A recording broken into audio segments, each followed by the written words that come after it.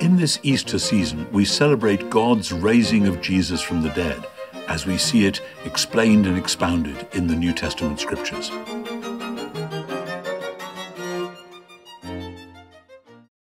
But in fact, the Messiah has been raised from the dead as the first fruits of those who have fallen asleep.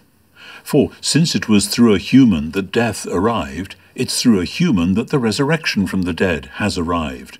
All die in Adam, you see, and all will be made alive in the Messiah, each, however, in proper order. The Messiah rises as the firstfruits. Then those who belong to the Messiah will rise at the time of his royal arrival. Then comes the end, the goal, when he hands over the kingly rule to God the Father, when he has destroyed all rule and all authority and power. He has to go on ruling, you see, until he has put all his enemies under his feet. Death is the last enemy to be destroyed, because he has put all things under his feet. But when it says that everything is put in order under him, it's obvious that this doesn't include the one who put everything in order under him.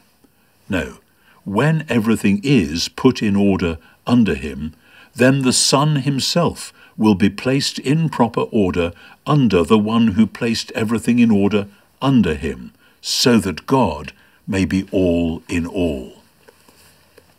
That's a bit of a mouthful, but what Paul is trying to do is to explain the central truth of the resurrection and the big worldview which it carries with it.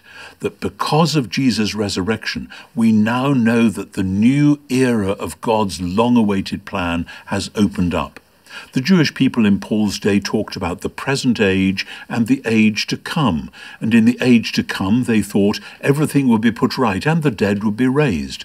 And Paul has to tell them that actually the present age and the age to come overlap.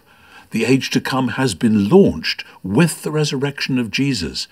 And now the present age and the age to come are rather awkwardly overlapping with one another. That's where we live, with what we theologians call the now and the not yet. And it's very important to get the balance between those two right. Some people want a bit too much now and forget that it's still a matter of labour and struggle and often anguish in prayer. Other people are so concerned about the continuing darkness of the present world that they imply that Jesus will only really be reigning when he comes again in glory at the end of all things. But no, Paul is clear here. He must go on reigning until he's put all his enemies under his feet. In other words, from Jesus' resurrection and ascension, he is already enthroned as the Lord of the world. It's easy to get this wrong because in the Christian creeds that many of us say in our worship every Sunday, we say he will come again in glory to judge the living and the dead, and his kingdom will have no end, as though the kingdom is something which would only start then. No, the kingdom is already launched through Jesus. You can tell that if you have one of those Bibles with cross references, because in the middle of this passage, Paul refers to Daniel chapter 7, the time when the Son of Man is exalted, so that he now has overtaken all rule and all authority and all power. Matthew does the same thing at the end of his gospel when he has the risen Jesus say, All authority in heaven and on earth has been given to me. And what we find here is the rushing together of the scriptural witness. Paul said at the beginning of the chapter that the Messiah was raised on the third day in accordance with the scriptures. And here we find several bits of Old Testament scripture coming together. Daniel 7, Psalm 2, which is the messianic psalm about the, the true Davidic king being set in authority over the world, and also, interestingly, Psalm 8 because this is about Jesus as the human being who is now the world's true Lord. So often, people in popular thought, and even some unthinking Christians, alas, imagine that Jesus, well, he was a human being, but then when he died, he was raised from the dead, so he sort of went back to being God again, as though his humanity doesn't matter. That's a complete misunderstanding.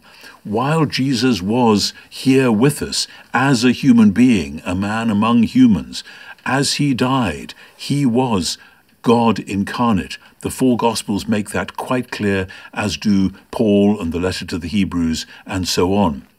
Equally, the fact that he is now exalted doesn't mean, oh, well, that's because he's God. It's also because he is the one of whom Psalm 8 said, What are human beings that you're mindful of them?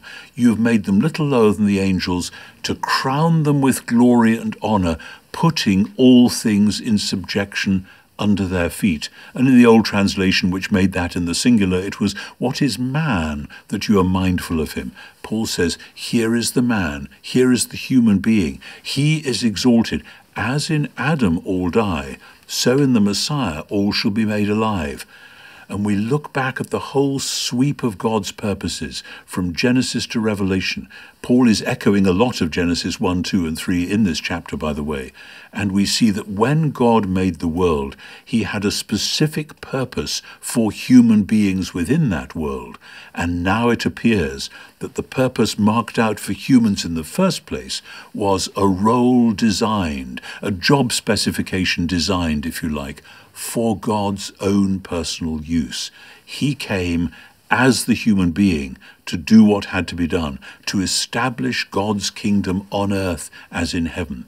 That's where we live at the moment and will continue until the time when, at his second coming, and only at his second coming, all the rest of his people will be raised to new life, and then, at last, the whole creation will be filled as the prophet said, with the knowledge and glory of the Lord as the waters cover the sea.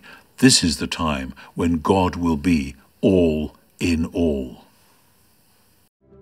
How is this passage speaking to you? Let us know in the comments. Like and subscribe or check out our other videos.